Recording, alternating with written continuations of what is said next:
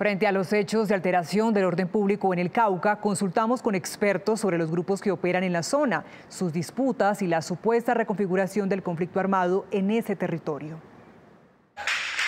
Son al menos nueve estructuras de grupos ilegales las que se disputan en el Cauca, cuatro pertenecientes al ELN, otras cuatro a las disidencias de las FARC y una facción del EPL. Del ELN los frentes Manuel Vázquez y José María Becerra, las columnas móviles Lucho Quintero y Cienfuegos, de las disidencias de las estructuras Carlos Patiño, Dagoberto Ramos, Jaime Martínez, Segunda Marquetalia y el EPL.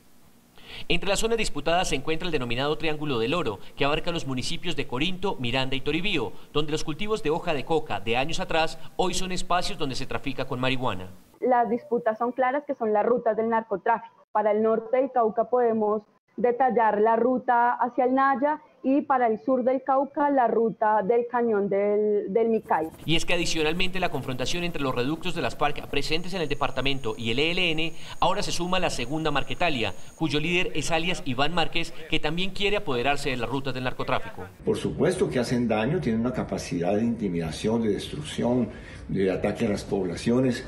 y ahora con estas acciones de, dinamita. Los cabecillas de la columna disidente de las FARC en el Cauca, Dagoberto Ramos, supuesto responsable según las autoridades del atentado con carro bomba en Corinto, son alias Cejas y alias David, afines a las disidencias de Gentil Duarte. Nuevos actores armados en los que no solamente se les debe atribuir a, a, una sola línea de disidencias de las FARC, sino nosotros podríamos decir que son varios grupos de disidencias de las FARC, pero toda vez que estos se están enfrentando en territorio con la segunda Marquetalia, que está haciendo una arremetida también para entrar al departamento del Cauca. Vinculados al narcotráfico, al tráfico de la marihuana, de la cocaína, a todo el tráfico de armas en esta región